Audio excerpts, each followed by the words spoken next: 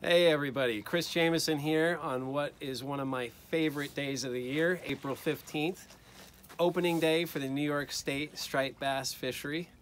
This year we have a size limit that's gone to a slot, so we're looking at fish between 28 and 35 inch being keepers. Today being opening day, we didn't miss a beat, got out there, uh, water temp um, down, you know, about the 50 degree mark. Uh, fish are primarily coming through on the outgoing tide.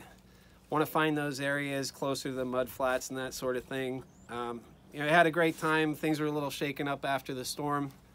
Um, water's a little murky. You should see things improving, more fish coming through with each tide.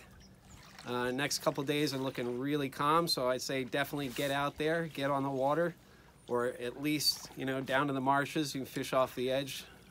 Um, you know, get out there with your family, stay safe, stay healthy, if you want to call anytime, talk boats or fishing, you can reach me at chrisj at strongsmarine.com or you can get me on my cell phone at 631 856 0990.